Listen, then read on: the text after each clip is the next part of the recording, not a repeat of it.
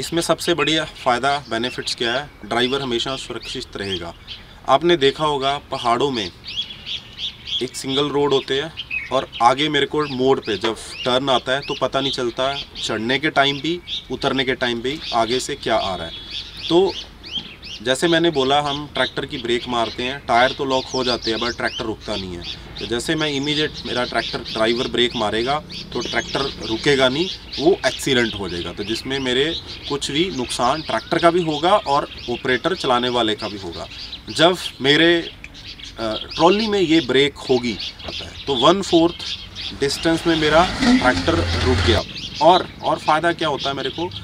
जब मैं ट्रैक्टर की ब्रेक मारता हूँ, आपको पता है, कभी भी ट्रैक्टर की ब्रेक एक साथ नहीं लगती। कुछ ट्रैक्टरों की राइट साइड की ज़्यादा लगती है, कुछ की लेफ़्ट की लगती है। वो चलने एक एप्लीकेशन का इशू होता है। अब जब मैं ट्रैक्टर की ऐसे ब्रेक मारता हूँ तो मान लो मेरे राइट टायर की ब्रेक ज़्यादा लगी तो मेरा ट्रैक्टर आपने वीडियो में देखा होगा राइट साइड में घूम जाता तो एक्सीडेंट होने के चांसेस रहते हैं। तो ट्रॉली में जब ब्रेकें रहेंगी, ये सारी चीज़ें कभी भी नहीं होगी तो